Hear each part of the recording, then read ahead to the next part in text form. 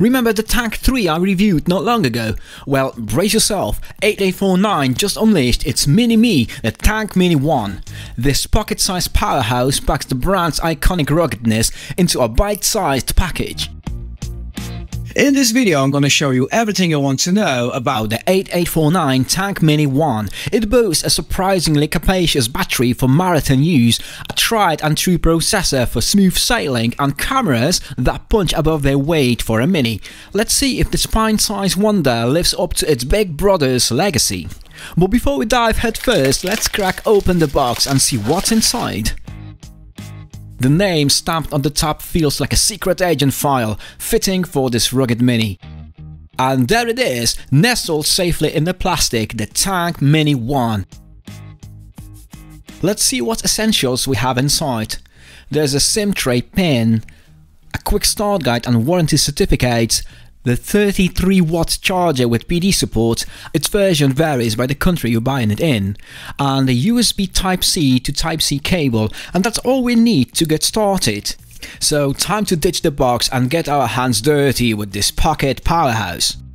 Okay, so we got this miniaturized tank. It's more refined than its big brother, the Tank 3 which I reviewed not long ago.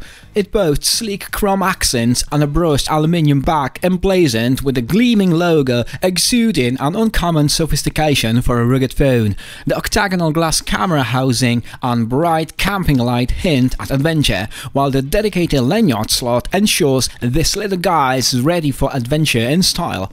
The only caveat, the chrome and glass elements attract fingerprints, but that's a small price to pay for such elegance. And for those inevitable mishaps, the bottom and top are shielded by shock-absorbing TPU bumpers. Thoughtful toughness, nice. Naturally, the Tank Mini 1 is water resistant, boasting IP68 and IP69K certification. However, despite its 23mm thickness, significantly thicker than my Pixel 8 with a case, the phone doesn't look like a brick. Anyway, it offers surprisingly comfortable grip. Up top, a laser rangefinder and infrared blaster, familiar features from the Tank 3. Down below, a USB-C port and 3.5mm jack rest under a protective rubber cap. The right side houses the power button with fingerprint sensor flanked by two customizable red buttons for your secret shortcuts. On the left, grippy volume rockers and a dual SIM tray with a fancy red seal. Don't let the 4.3 inch size fool you, this mini screen packs a punch. While the 1200 by 540 pixels resolution falls slightly short of HD, the IPS display delivers sharp visuals for everyday tasks thanks to its respectable 306 pixel per inch density. And fear not, Sunshine Warriors, a peak brightness of 650 nits makes it an outdoor champion. And worrying about scratches is a thing of the past thanks to the tough Panda Glass shield. Navigating the display is your choice, physical buttons or intuitive gestures. And while the settings menu might not break new ground, think brightness, dark theme, auto rotate, it does offer all the essentials. However, navigating those menus with the smaller on-screen buttons could be a bit of a squeeze, especially for tasks like entering lengthy Wi-Fi passwords or setting up accounts during initial setup. My thumbs definitely had a bit of a workout. The phone runs stock Android 13 with minimal customization, offering a familiar interface punctuated by subtle Unihertz and 8849 touches. The home screen is customizable to your liking with widgets, wallpapers and icon layouts. During setup, you have option to set up facial recognition, which works remarkably quickly. Alternatively, you can opt for a fingerprint reader, both of which offer enhanced security and convenience over traditional pin codes, especially for those of us with, shall we say, less nimble digits. So while it's mostly stock Android, the phone comes with a few pre-installed apps that enhance its functionality and these include Unihertz extras like Zaza Remote app for infrared blaster, student mode, NFC card manager and a laser rangefinder app.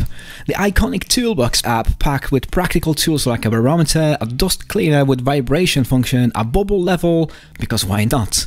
a siren and flashing emergency light app, perfect for dramatic exits, and a host of other handy tools like a compass, speedometer and underwater camera.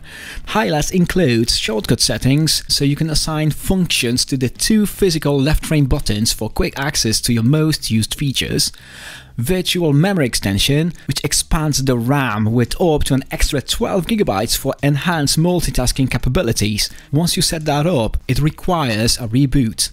In essence, the Tank Mini One delivers a pure, clean Android experience, but with carefully chosen bonus tools that elevate its versatility and make it even more compelling. No gimmicks, just genuine functionality. And I like that. Need two SIM cards for separate lines? Or perhaps you prefer one SIM and extra storage for your adventures. The choice is yours with the versatile dual 4G SIM slots that also accommodate a micro SD card expanding the storage by up to half extra terabytes. There's also Bluetooth 5.3 for seamless pairing, Wi-Fi 5 for smooth streaming and casting capabilities to share your content on the big screen. The Tank Mini One ensures you're connected to everything that matters, also has a GPS, so losing your way is virtually impossible. And at last, the thing which is important to many people, the trusty 3.5mm headphone jack that lets you plug in your headphones. While not the top of the line chip, the MediaTek Helio G99 built on a 6nm process gets the job done efficiently. And with a smaller resolution display to handle, this phone delivers surprisingly smooth performance. Whether you're gaming or browsing the web, expect a lag-free experience. The Tank Mini One also packs a generous 12GB of RAM and 256GB of storage, expandable with a microSD card.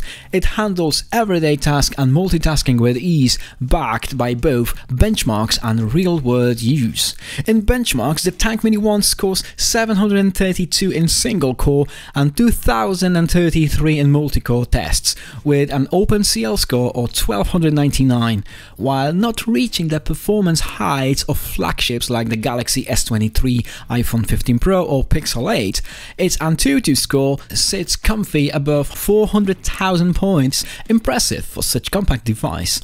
But enough numbers, let's dive into how it handles games, starting with one of the best racing games on mobile, Asphalt 9 Legends.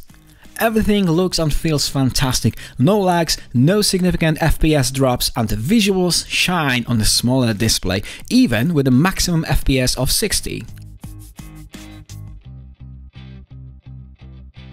To put it to a real test, let's tackle Call of Duty Mobile. While the game looks great, aiming can be a challenge on a smaller screen, especially at maximum graphics quality.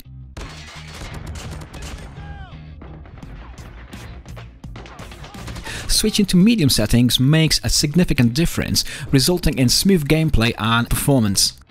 While not its main focus, the Tank Mini One packs a surprisingly capable camera setup. Here's the rundown. The main camera 100 megapixels, though you'll usually shoot at 25 megapixels for smoother pictures. This photo with 100 megapixels resolution. The result? Solid sharpness but not mind-blowing. Time for a family face-off. Check out the same scene captured by the Mini One at the left and the Tank 3 at the right. Can the Mini One challenge the iPhone 15 Pro? Let me know in the comment section. Let's check out the digital zoom on the Mini One. It enlarges the image by stretching pixels, leading to quality loss at higher zoom levels.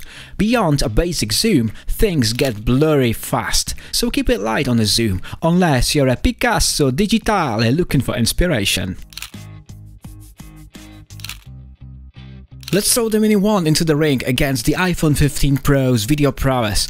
Not exactly a fair fight considering the iPhone's top-notch optical image stabilization versus the Mini One's electronic alternative, but gotta compare against the best, right? And remember, low light conditions were thrown into the mix, making things even trickier for both cameras. Keep in mind, the Mini One is built for toughness, not photo shoots and a selfie cam 32 megapixel sensor for detailed close-ups, defaulting to 8 megapixels for everyday snaps. It's a full HD video for your TikTok dreams. Drop your opinions in the comments. The phone packs a hefty 5800 mAh battery and 33 watts fast charging keeping you juiced for adventure. The full charge takes just under 70 minutes. Impressive endurance, browsing about 19 hours, gaming around 11 hours, videos 22 and a half hours. Seriously. So you don't have to worry about battery anxiety with the Tank Mini 1. So, small phone, big surprise. Tough, built to survive the apocalypse, fast charging, long lasting battery, and even my picky 8 years old loves it. Processor's decent, screen's nice, camera's not a game changer, but its size and price, pretty neat. Unique phone, happy kid, I can dig it. By the way, this phone came from 8849 for review, but rest assured, even with a freebie, my opinions come with zero filters. The review is all me, all real, all the good, the bad and the in-between. If you want to check this one out, it rings out around $400 US on AliExpress, but they're throwing down a limited time launch discount, scoop it for just under $200 US until end of January. So don't sleep on this deal, scan this QR code, grab the link in the description and go nuts. Thanks for watching, catch you guys on the next one.